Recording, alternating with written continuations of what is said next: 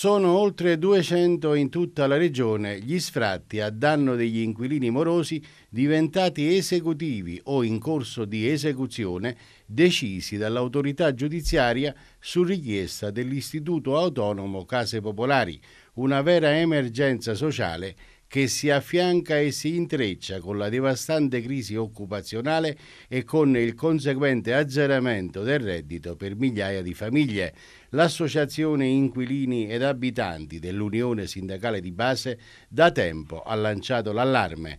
Oggi il sindacato, rispetto all'immobilismo della Regione, chiede senza mezzi termini la testa dell'assessore regionale Pierpaolo Nagni e preannuncia eclatanti iniziative di protesta. Purtroppo dobbiamo constatare, dopo mesi di denuncia, di mobilitazione, di appelli, la totale inerzia e silenzio da parte della Regione Molise a fronte di questo dramma sociale.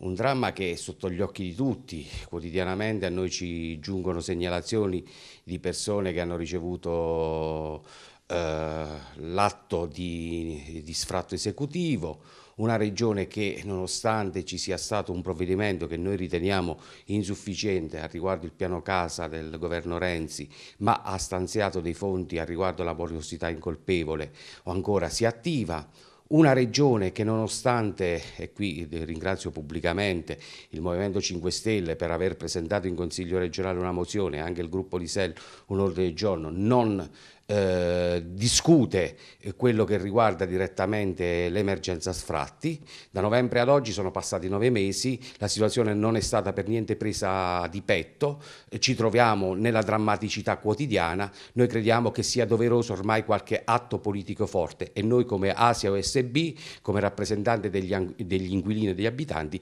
chiediamo a questo punto le dimissioni dell'assessore regionale Nagni. La sua associazione ha coinvolto anche il prefetto di Campobasso. Io ringrazio pubblicamente il prefetto di Campobasso che nella sua veste istituzionale ci ha convocato ad un incontro, eh, ci tiene costantemente informati, come noi informiamo il prefetto di qualsiasi situazione in cui arrivano alla nostra sede. Il prefetto ha fatto quello che nelle sue possibilità di fare, manca un atto concreto da parte della Regione Molise. Oltre alla denuncia pubblica, che iniziative avete in mente? Ma noi stiamo organizzando, organizzeremo per settembre una grande mobilitazione per il diritto all'abitare in questa regione.